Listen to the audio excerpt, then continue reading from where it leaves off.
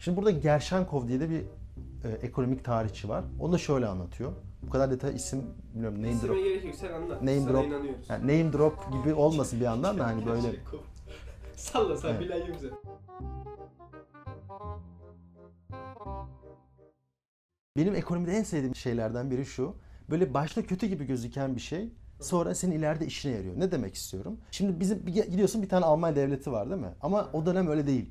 100 tane farklı Alman devleti var ve hep her biri kendi bağımsızlığını savunuyor. İşte Hamburg başka bir devlet, işte Münih başka bir devlet, işte bakıyorsun Stuttgart bambaşka bir devlet. Bunlar da böyle 100 tane prenslik, işte özgür devlet vesaire. Bu- Bunların hepsini biz Alman devleti diyoruz ama o dönem hepsi birbirinden ayrı. Şimdi böyle olunca ne oluyor? Her bir devlet aslında kendini geliştirmek zorunda kalıyor. İngiltere'ye bakıyorsun mesela. İngiltere çok hızlı sağlamış siyasi birliğini. Ne yapmış? İşte Londra ile York ta İngiltere'nin kuzeyini birbirine bağlamış. Orada tek bir devlet ekonomisi oluşturmuş. Yani ulusal bir ekonomi oluşturmuş. Bunun artıları var tabii ki. Ne mesela? Sanayi devrimi İngiltere'de başlıyor. Almanya'ya geri dön. Almanya'da farklı farklı prensipler var. Bunlar birbiriyle rekabet halindeler mi? Bunlar birbiriyle rekabet halindeden ziyade her biri ekonomisini güçlendirmek için aslında başka bir yöne gidiyor. Ne yapıyor mesela? Eğitime çok önem veriyorlar. Hepsi. Yani mesela birçoğuna baktığında dünyada zorunlu eğitimin ilk başladığı yerlerden biri Almanya. Üniversiteler mesela çok önemli ve askeri özellikle Prusya. Şimdi bunlar zaten halihazırda siyasi birliğin sağlanmadan önce Almanya'nın onu böyle rekabetçi yapan özellikleri. Sonra 1834'te Alman devletleri diyor ki ya kardeşim biz 100 tane devletiz bir arada. Malı Hamburg'dan ta güneye indirmek için 100 tane vergi veriyorsun. Böyle olmaz. 1834'te Zollverein diye bir ekonomik birlik kuruyorlar. Hatta bu böyle dünyada ilk ekonomik birlik Aynen. falan diye geçer. Bakıyorsun bu böyle bir yavaş yavaş aslında birleşmeye doğru atılan bir ilk hamle ve Almanya ekonomisi o zamandan sonra çok büyümeye Bu başlıyor. birlik dediğin gümrük birliği değil mi? Gümrük Birliği o zaman. O zamanki Gümrük Birliği, Zollverein dediğimiz şey. Şimdi Almanya 1840'lara kadar aslında İngiltere'de yaşanan sanayi devrini biraz ıskalamış. Hı hı. 1840'larda geliyor. Şimdi peki orada ne yaşanıyor? Orası, Evet. Burası çok önemli çünkü Almanya bir bakıyorsun çok hızlı bir şekilde kalkınıyor. Şimdi Aynen. İngiltere sanayi devrimi neyle Şimdi başladı? Şey mi yapacaksın bize? Formül mü vereceksin? Ya formül ver, vermeyeceğim. Keşke verebilsem. Ee, Şu ikisini birleştir. Uçuyorsun. Almanya bir anda çok hızlı bir şekilde bütün her yere ray inşa etmeye başlıyor. Trenleri her yere götürmeye çalışıyor. Neden? Çünkü tren dediğim bir ulaşım. Ulaşım masrafı inanılmaz derecede kısılıyor. İkincisi ulusal birlikteliğe doğru giden bir adım. Üç, çelik ve kömür endüstrinin inanılmaz derecede güçlenmeye başlıyor. Dolayısıyla Evet. Almanya'yı aslında Almanya yapan şeylerden biri. O sanayileşme hamlesinin arkasında çelik endüstrisi var. Osmanlı şunu demedi mi? Biz çelik yapalım, biz de trenle düşelim. Hani öyle bir anlatıyorsun ki sanki Alman'ın aklına gelmiş gibi bir tek. Şimdi ama şimdi tabii Alman'ın ben şey niye anlattım? İşte bu adamların başta aylık olması onu aslında iyiye de sağladı. Eğitime önem vermiş, üniversite kurmuş. Dolayısıyla aslında bir sermayesi de var. Licht'in en sevmediği insan Adam Smith. Şimdi Adam Smith ne diyor? Serbest ticaret. Serbest ticareti yapalım, dünya zenginleşsin. Ya Licht de diyor ki, ya kardeşim İngiltere kalkındı. İngiltere'de çok güçlü bir sanayi var. Sen şey açınca, serbest ticareti açınca benim sanayim nasıl gelişecek? Gelişemez. O yüzden Licht'in çok önemli bir argümanı var. Diyor ki infant industry yani bebek endüstriler diyor. Licht'e göre bir ülkenin sanayinin kalkınması için aslında belli vergilerin konulması gerekiyor. Çünkü korunmadığı sürece aslında sen dışarıdan ucuz almaya devam ediyorsun. Licht'in aslında bu söylediği şey Alman ekonomisini bayağı şekillendiriyor. Çünkü Almanya dediğim gibi sanayileşmek istiyor. İlk yaptığı şey şu oluyor. Gerçekten endüstriyi korumak için, sanayileşmesini sağlamak için dışarıdan gelen sanayi ürünlerine ciddi bir aslında gümrük vergisi koyuyor. Dışarıda pahalı olunca sen aslında içeride üretmeye doğru yöneliyorsun. Şimdi burada Gershenkov diye de bir e, ekonomik tarihçi var. Onu da şöyle anlatıyor. Kadar detay isim bilmiyorum name İsime drop. gerek yok sen anlat. Name Sana drop. inanıyoruz. Yani name drop gibi olmasın bir yandan da hani böyle Salla sen Evet. bilen yok zaten. Rus ekonomik tarihçi Gershenkov var. Ha. Şimdi bakıyoruz ne dedim? İngiltere tekstille kalkındı. Aynen. Şimdi tekstil çok fazla böyle sermaye isteyen bir yapı değil. Hı hı. En fazla 30-40 kişi bir fabrikada çalışıyor ve öyle çok da yetenekli işçilere ihtiyacın yok. Ama çelik öyle değil. Çelikte böyle bin kişilik fabrikalar, daha yüksek bir sermaye, işte Evet. daha iyi bir organizasyon kontrolü lazım. Aynen. Şimdi- capital intensive dedik. Aynen öyle. Çok fazla sermaye yiyor. Kesinlikle öyle. Dolayısıyla İngiltere'nin bankalarına bakıyorsun 1980'den önce küçük küçük bankalar var. Hı hı. Bankalar daha böyle e, küçük şeylerle çalışıyor. Çünkü tekstili Hobilerle mi çalışıyor? ya ko- kobileri banka, e, bankalar kobileri fonladığı için çok büyük olmak zorunda değil. Ama Almanya şunu biliyor. Ben çeliğe yatırım yapacaksam, ben kimya yatırım yapacaksam büyük bankalara ihtiyacım var ve bu bankalar aslında o ağır endüstrileri fonlamaya başlıyor. Burada niye rant olmuyor ya yolsuzluk falan? Ahlaksız değil mi bu Ya, insanlar? ya burada bir işbirliği var. Ahlaksız değil mi? Şu Alman ekonomisini anlamak istiyorsak bu yüzden aslında bu tarihi de anlatıyorum ben. Çünkü 1945'ten sonra değişmiyor. Alman devleti Alman ekonomisini yönlendirir. Yönlendiriyor. Hala. Hala. Şimdi bak bir ülkenin ekonomisini yönlendirmekle bir ülkenin ekonomisine sahip olmak başka bir şey. Devletin sahip olması, devletin üretmesi başka bir Ne şey. o ayrım? Devletin üretmesi sosyalizm demek. Planlı ekonomi. Devletin yönlendirmesi koordineli market ekonomisi demek. Literatürde böyle geçiyor.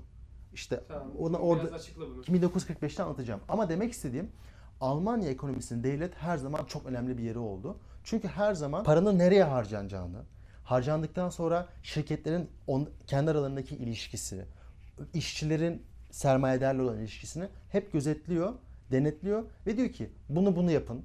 İşte bu sanayi konuları gidin, bu araştırma yapın. Dolayısıyla aslında bu yüzden biz rent seeking dediğimiz olayı yani daha az görüyoruz Almanya'da. Ekonomi tarihinde benim en sevdiğim şeylerden biri aslında tarım ve sanayinin her zaman nasıl çatıştığı. Şimdi ben burada diyorum ki işte endüstriyi korumak için gümrük vergisi getirmen gerekiyor ama bu o kadar kolay olmuyor. Sebebi şu.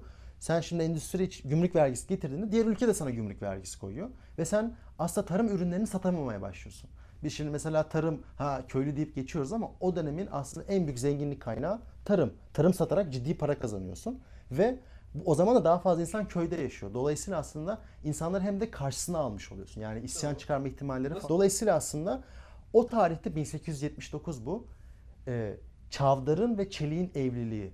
İlk defa o zaman endüstri ve tarımın çıkar gruplarının örtüştüğünü görüyoruz. Ve dolayısıyla Almanya gümrük vergisini daha da fazla koyup sanayileşmek için aslında daha fazla adım atmaya başlıyor. Ve zaten 1879'dan sonra 1914'e kadar sanayileşme devam ediyor. Tamam artık şu Allah aşkına 45'e gelelim. 45'e gelelim. 45'e gelmeden bir soru soracağım. Bu video uzun olmasın ama şu bilgileri vermeni istiyorum. 1914'te geldiğimizde, savaştan öncesinde Almanya, Fransa ve İngiltere'yi değerlendirdiğinde bunlardan en çok üretimi gelişmiş ülke hangisiydi? Yani en çok üret, dünyanın hani toplam üretiminin yüzde bilmem kaçı şu ülkede deniyor ya. Hı hı. Dünyanın üretim devi hangisiydi bu üçlüde? Almanya çelik üretiminde İngiltere'yi geçmişti. Ki o zaman çelik üretimi hani ülkenin sanayileşmesini ölçmek için temel bir girdi. Hı. Ama İngiltere'nin GDP'si o dönem daha büyüktü. Ama düşün İngiltere Hindistan'a sahip hani o zaman güneş batmayan, güneş batmayan ülke. Ama Almanya çok hızlı büyüdü. Yani bir anda yakaladı. Düşünsene 1815'te olmayan bir ülke Napolyon lağvetmiş bu ülkeyi. Yenmiş. 1914'e geldiğinde Fransa'yı geçmiş durumda. İngiltere'de rekabet ediyor. Biz böyle tarih kitaplarında gördük ya ben hep şey hissettim. Ulan biz niye Almanya'yı seçtik hani orada İngiltere... Gelelim 1945'e. Aynen yıkıldık. Değil mi? Şimdi sen Almanya yıkıldı yıkıldı tekrar ayağa kalktı dedin. Aslında ilk yıkılış 14. Ya Ee, 18. Y- yıkıl ya ayağa kalk dedim hani bir 1815'ten sonraki bir atılım. Sonra 1914'te bir, bir daha düşüyorlar. 1945'te artık hani hani e, şimdi Almanya peki buradan nasıl kalkıyor? Üç tane önemli olay var. Birincisi Marshall yardımları. Am- Amerika o zaman diyor ki ben bir dünya savaşından sonra düştüğüm hataya düşmeyeyim. Bu ülkelere ekonomik yardım yapayım ki bu ülkeler bir daha ciddi ekonomik sorunlar yaşadığı için mil- aşırı milliyetçiliğe kaymasınlar. Hı. Ama günümüz parasıyla Almanya'ya verilen para 20 milyar dolar. Fena para değil. Nasıl 20 milyar? Bugünün 20 milyar doları. Bugünün 20 milyar Para doları. değil ki. o. Yani aşırı da bir para değil. İngiltere daha fazla veriliyor mesela. Birleşmiş Arap Emirlikleri miydi? Neydi? Birleşik Arap Emirlikleri 10 milyar dolar getirmiş. Yani şimdi e, İngiltere daha fazla para veriyor ama İngiltere mesela 1980'e kadar kötü gidiyor. Şimdi o zaman or- burada başka bir hikaye var. Yani tamam Amerika bir para verdi de bu adamlar bunu nasıl becerdi? Bir dakika Amerika bir sürü ülkeye para verdi. Evet. En çok uçan Almanya ile Japonya mı oldu? Evet. Neden? Alman ekonomik mucizesinin arkasındaki isim Ludwig Erhard. Batı Almanya'nın aslında ilk ekonomi bakanı ve bu yeni bir fikirle geliyor. Diyor ki biz bu Alman markını değerli bir hale getirelim. Bu nasıl yeni fikir oğlum? Yani şimdi neden yeni fikir? Çünkü senin ilk aklına gelen şey şu. Param değersiz olursa ben dışarıya daha kolay mal satarım. Çünkü daha rekabetçi ve insanlar senden alması daha ucuz. Ludwig diyor ki yok para değerli olsun. Ve bu aslında ekonomide çözülmesi daha zor bir problemi çözüyor. O da güven problemi. Şimdi senin eğer paraya güvenin yoksa ki Alman halkında o zaman hiç yok. Diğer ülkelerin de Almanya ekonomisinde hiç yok. Çünkü 3 defa hiperenflasyon yaşamış. Para yarın çöp oluyor. Bugün cebinde 100 mark var. Yarın o de- değeri 50 marka iniyor. Faizleri mi arttırmış? Yok yani do- dolar karşısında hani değerini öyle belirliyor. Ve aslında bu ekonomide çözülmesi daha zor bir problemi çözüyor dediğim gibi.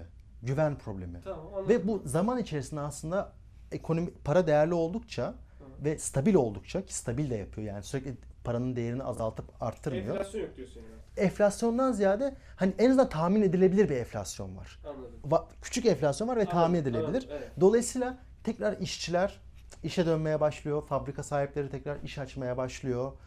Ve aslında biraz ekonomik tekrar kalkınmaya başlıyor. Korporatizm falan dedikleri bir hikaye Aynen korporatizm. Olay şu. Dedim ya 1870'lerde Alman devleti oturup yatırımı şuraya yapalım. Bankalar, devlet, şirketler bir araya görüşüyor. Bu hala Almanya'da devam ediyor. Özellikle 1960'tan sonraki kalkınma hikayesinin arkasında biraz bu var. Bugün Volkswagen'ın mesela yönetim kurulunda işçiler de var. İşçiler de karar veriyor. Ya da işçilerle sermayeler bir araya gelince devlet de oraya oturuyor. Ve aslında devlet işçiyle sermaye arasında bir aracı, bir aslında rol gösterici. Ve bu ekonominin gösterecek? yani yatırımı şöyle yapalım. İşte uzun vadeli planlar belirleme. e, risk işte bu araştırma ve geliştirmeye ciddi miktarda para ayırma. Dolayısıyla aslında ekonomiyi sürekli yönlendiren bir role sahip.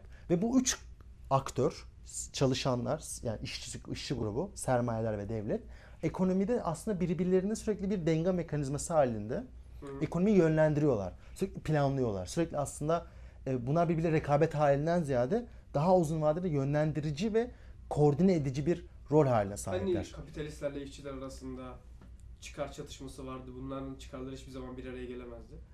İşte Almanya bu sosyal devlet, yani sosyal demokrasi Almanya'da doğuyor zaten ilk parti. Dolayısıyla aslında bunu e, bir noktada çözmüş mü diyeyim ya da buna bir çözüm getirmiş bir ülke. Dolayısıyla aslında burada daha birbirleriyle kar- çık- çıkar çatışmasından ziyade daha koordine edici ve daha böyle e, uzlaşmacı bir ilişki var. Made in Germany diye bir şey var? Made in Germany yani bugün Made in Germany dediğinde bir karşılığı var, bir prestiji var. Bunun sebebi de aslında Almanya'nın korporatist olması. Neden? Neden? Çünkü Almanya'nın şöyle bir iddiası yok. Çok üreteyim, ucuz üreteyim. Böyle bir iddiası yok. Almanya'nın şöyle bir iddiası var. Üreteyim sağlam olsun, kaliteli olsun, insanlar buna para vermek istesin. Tok kapasitesi. Aynen. Şimdi bunu üretmek de kolay değil. Neden? Çünkü sen sağlam, lüks, iyi motor vesaire bunu üretebilmek için neye ihtiyacın var? İyi bir mühendise, iyi işçilik. iyi işçiye, iyi bir finansal kapitale ve uzun vadeli plana ihtiyacım var. Aslında bütün anlattığım şimdiye kadarki hikaye bu Almanya bunu nasıl tek nasıl kurduğunu gösteriyor.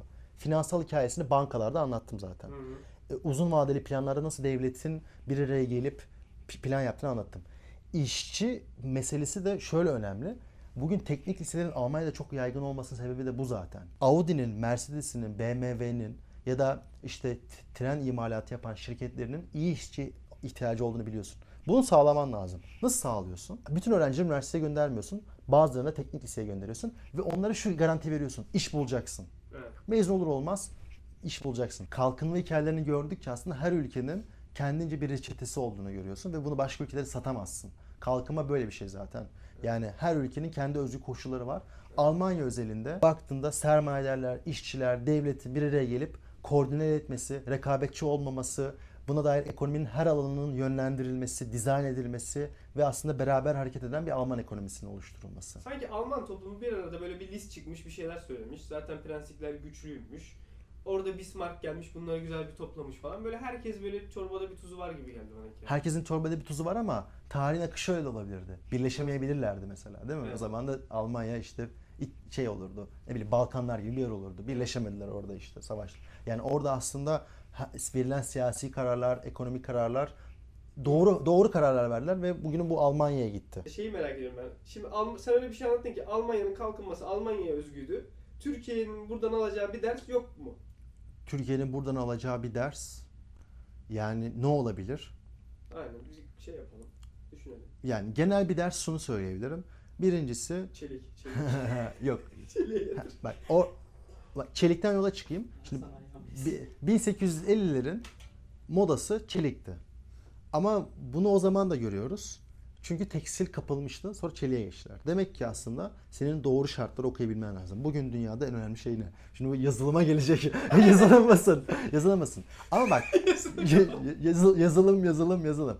Ama şimdi yazılım yazılım yazılım diyenlere de çok inanmamamız lazım. Çünkü tamam yazılım basalım baba.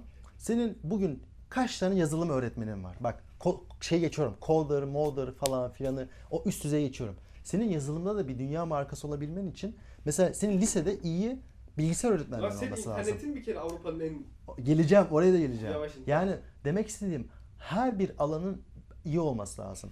Senin iyi öğretmenlerin olması lazım. Senin internet altyapısının iyi olması lazım. Senin internet şirketlerine, bilişim şirketlerine verdiğin vergileri ona göre ayarlaman lazım. Bankaların onlara daha düşük faizle para vermesi lazım. Ekonominin uzun vadeli buna göre yönlendirilmesi lazım. Ki bu çok zor çünkü seçim var sürekli. Evet. 4 senede bir seçim var. Parayı parayı şimdi harcamak istiyorsun ki oy kazanasın.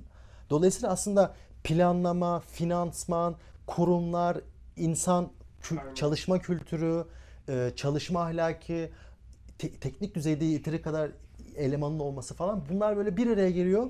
Mercimek çorbası oluyor. Sen de afiyetle içiyorsun sonra. Sen buradan Türkiye'ye bir şey çıkartamıyor musun? Şunu yapalım bari dersen ne yaparsın? Bak bizim de devlet bankalarımız var güzel. Abi Türkiye'nin daha temel problemleri var gibi yani daha oralara gelene kadar.